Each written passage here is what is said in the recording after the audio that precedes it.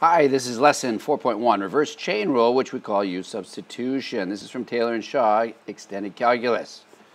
Here's a few warm-up examples that I want you to try to take a look at, and I would like you to try 1, 2, 3, 4 before you even watch this video. So please pause, try them, and then come back and we'll talk about them.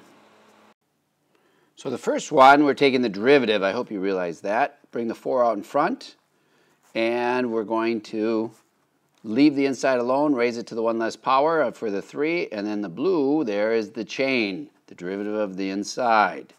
Similarly, for number 2, we also have a chain, which would be of the 5. And so we have to account for this 5 if we are going in reverse and doing an antiderivative. So that's what example 3 and 4 bring about. So I'll do that with you. So if I do number 3, I have to raise this inside portion one higher power, and I'm going to divide by that same portion. Now, with the inside, to account for this 5 when we took the derivative, I'm going to have to divide by 5 here in order to deal with that, but I already have the 5 here. So this was the 5 chain, which I have up here. Those are equivalent. So that kind of goes away, and so I'm going to end up with just this integral right here. The antiderivative, 1 plus 5x, all raised to the fourth, all over 4, plus my c value. On number 4, we have a similar situation. We have this 5 here, which is same as this 5 off the chain. And so when I go in reverse here, I know that the antiderivative of the sine, uh, cosine is the sine. I'm going to leave that inside alone. But I do need to account for this chain. Why, if I did take the derivative of this, I would have to multiply by 5. Well, that is that 5 right there. That is accounted for. So this is all I'm going to get for my antiderivative. Now, there is a more formal process that we'll look at here in a second, but I just want you to get an idea of we, we have to account for this chain rule when we're doing the antiderivative in reverse. So we hooked on the derivative of the inside function example 1 and 2, so you had to unhook the derivative on 3 and 4. Each of these integration rules from last lesson can now be generalized, generalized as a reverse chain rule integral. The other way that we do say this is u substitution. Now it doesn't have to be u, but u is the variable of choice most often. So if we look at our rules from before, we have all of these in X forms. Now we're going to put them in U form. And when we do them in U form, you have to include to have the chain there to work backwards from. And we'll show you some examples and we'll see how this works. It might be a little confusing right now, but it's okay. The other way to say this too is that the U is equal to a chunk, a full chunk of a function or whatever, an inside deal that we are looking at. And so we let u equal to the chunk, and then we got to so sort out du as well. So let's look at example number five. Here is my integral, and this kind of looks like u to the 10th du. That's what this looks like. And so my chunk is going to be the 3x minus 1. So what we're going to do is we're going to let u equal 3x minus 1. And then my du is equal to 3 times dx. Now what I'm really doing here is I'm letting u equal something and then I need to find du dx. So this was du dx. However, without this dx here, however, I want to cross that off and I want to multiply it over onto the other side. So these differentials we can rewrite and use them in a little bit of different form, which help us quite a bit. Now, we need all these pieces in order to take this antiderivative. I need a 3 in here. I don't have a 3. And I need my dx, too. Well, there it is right there. That is. Now, I can't just throw a 3 in there with nothing else, I, but I can balance a constant. You can only balance constants. So I need to put a one-third out in front. One-third of 3 is going to be 1. So I'm okay with this. So now this is going to be equal to, and I substitute every single piece that I do have. So this would be u to the 10th du. du does equal both pieces 3 dx, so I substitute that out. And then I still have the integral symbol there. So now I go 1 third u to the 11th over 11. So I took the antiderivative u to the 10th plus c. Now this is in terms of u. I gave you a problem in terms of x here. So I want this back in x. So we back substitute, put the x back in. So this would be 3x minus 1 raised to the 11th over 11 plus c. And I should put this 3 and this 11 together for 33 down below, but I'm leaving it there for effect right now. There it is. Let's try number 6 now. With number 6, do you see a function and its derivative? Well, I do see this chunk right here, and this kind of looks like the derivative of each one of these respective pieces. So I'm going to try to let u equal t cubed plus t squared. Now if I take the derivative, du dt, that's going to be 3t squared plus 2t. And I don't want the dt here, I want it over here, so I'm going to move it. So this right here is equivalent to this piece with the dt. Now I can do my substitution. So my above integral is going to equal, I didn't have to balance any constants either, which is nice, but this is just going to be u du. Find the antiderivative, so this would be u squared over 2 plus c. Then bring it back. Bring it back to my t. So this would be t cubed. This is my chunk. That whole thing squared over 2 plus c. So that's the answer for that one. Now some of you might be able to look at number 6 here and then just look at this and piece it together a little bit easier in your brain. I like to do u substitution in proper form like this. But, you know, if you can see it on your own, great. Okay? So how about number seven? Do you see a function and its derivative? Well, I'll be hard pressed to do that a little bit, but I do see an x cubed and an x squared, and I know if I take the derivative of x cubed, I get out an x squared. So let's try this, and let's try to let u equal this, but also, I'm going to put the 5 in there because I know if I take the derivative of 5, I'm going to end up with 0. So when I do this, du, I'm not going to write the dx anymore. I'm just going to put it over on the right-hand side. This is going to be 12 x squared dx. So I have this piece and this piece that I need to substitute. I look up here, I don't see 12. But if I modify this by saying, oh, 2 times 6 is 12, and I can't just throw in a 2 without balancing it, and that's what I call this. This is a balance. So I balance that constant, and what I'm going to end up with is 1 half. Now let me see if I can rewrite this. This would be, the top is my du. Well, that was easy. So that whole top and the dx go away, into my du, and then on the bottom I'm going to be left with 1 over the square root of that chunk, which is my u. Wow, did that just make this whole problem a lot easier. Now go find the antiderivative and back substitute in.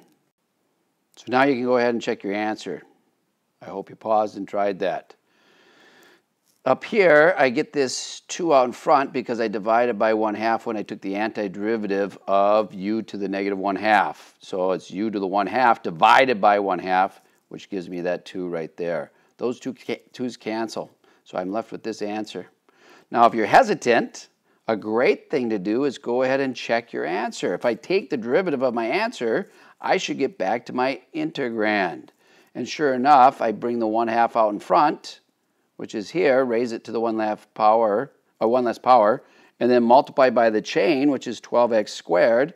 Well, 1 half of 12 is going to be my 6x squared, which becomes my original integrand, which I had up on top. Beautiful. Love this stuff. Number eight is a great problem because it might confuse you a little bit. If you let u equal my chunk, y cubed plus 1, I need a du, which would be 3y squared dy. I don't see this anyplace. I can't do this method. I can't do u substitution if I don't have the du. So we need to find a different method.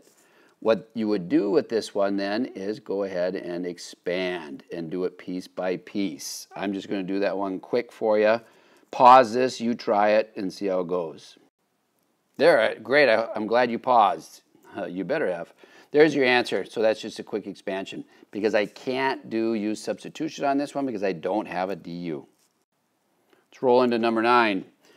Now, if one way to look at this too is that, and I know I'm not taking the derivative, but I always think that if I, when I look at this integrand, if I did take the derivative of that, would I have to chain? And if the answer is yes, then you probably have to do a u substitution. So if I took the derivative sine of 4x, yeah, I would have to chain it off. So then I would have to do a u substitution here. So let's try this. u is going to be my inside chunk. So I have u is equal to 4x. du is equal to 4 dx. I don't have this 4, so I got to sneak it in here. Can't just sneak in a constant without balancing, so I got to put a 1 fourth out in front. So now I end up with 1 fourth, the integral of sine of u du. Because both of those go into that. Antiderivative is negative 1 fourth cosine u plus c. And then you put the x back, so it's cosine of 4x. There's your answer. Number 10, can you see what to do here? Make sure you pause this and try some of these. I'm going to let u equal my inside function, theta squared, because I know that if I take the derivative of theta squared, I'm going to get 2 theta, d theta. Now my balancing is a little bit trickier, but I do need a 2 in here. So you can either pull out the 3 out in front and then put the 2 in and then divide by 2, or else you can just turn this 3 magically into a 2 by multiplying by a constant. So I took the 3 out, you can do that with a constant multiple, that's it, not with a variable.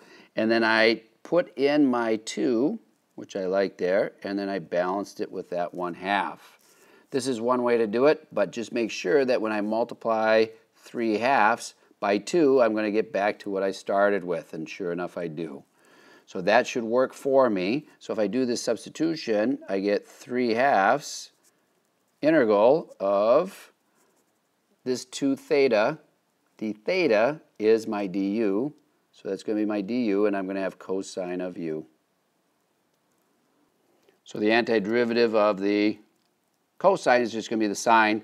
I put the theta squared back in. I skipped a step there. I hope you're okay with that. And then the 3 halves just went along for the ride. All right, now number 11.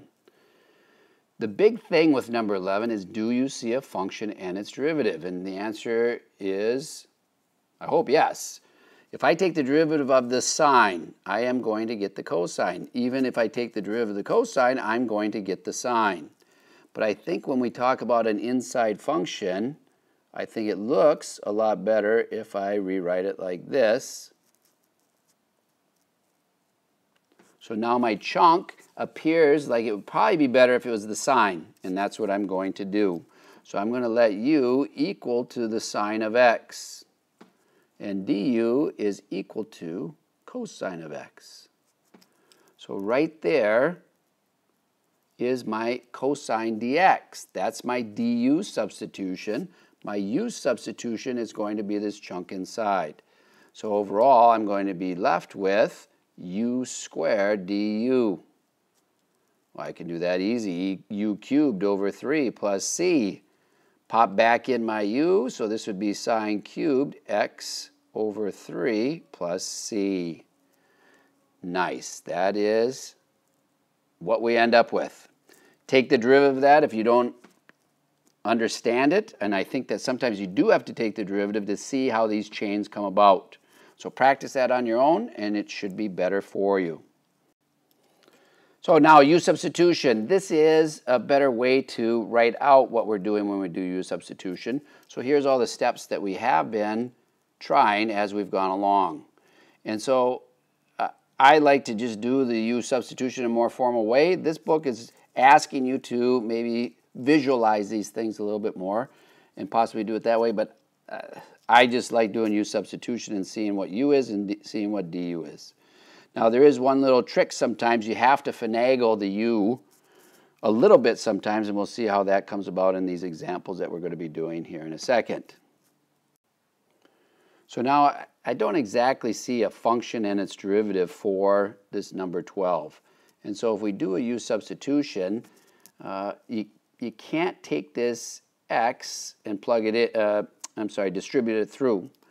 But if I do let u equal the inside function as we said above, then du is equal to dx. Now this doesn't happen too often, but this is going to happen in this case. If I rewrite this now, this is going to be the square root of u du. However, what happens to this x? Well, what we're going to do is use this u substitution to rewrite x. So I solve for x in this, and this is going to be u plus 1. So out in front here, I'm going to get u plus 1 for this x. And I got to put parentheses around it.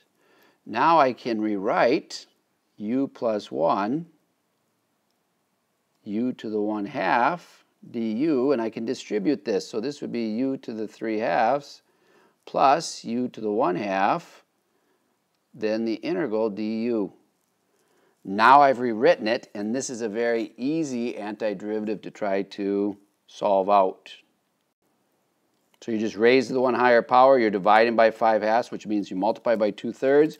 Very similar for this term here, and then you have your answer. So one additional step in here would be to write x in terms of u, just so you can substitute this thing out in front of the of the radical. So at 13, we're going to let u equal 2x plus 3 for no good reason. we don't see a function its derivative, but we're going to try this and see what happens anyway. So du is equal to 2 dx.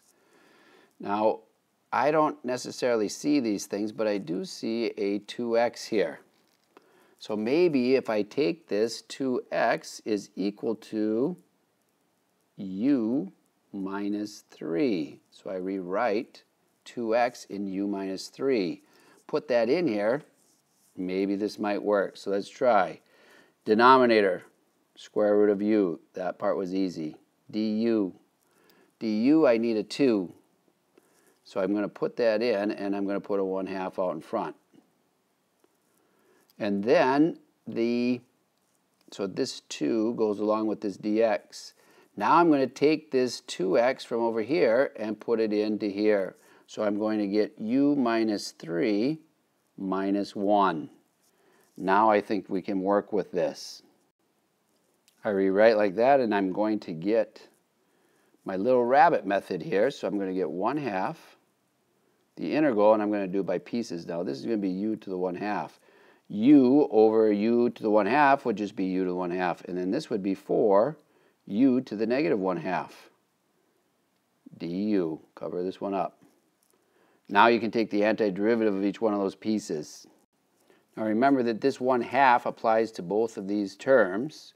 So when this is all finally said and done, I'm going to get 1 third. My chunk is 2x plus 3 raised to the 3 halves then minus 4, because the 1 half, this 2 cancels with this 2.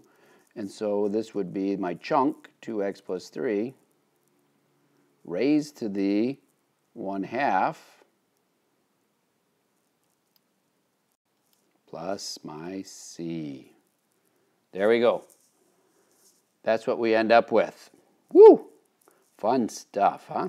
Okay, this sometimes will get a little bit crummy we won't see too many of these examples. I'll throw a couple at your way, but um, I think it's nice to challenge you a little bit. But you, these aren't too typical, but they may happen.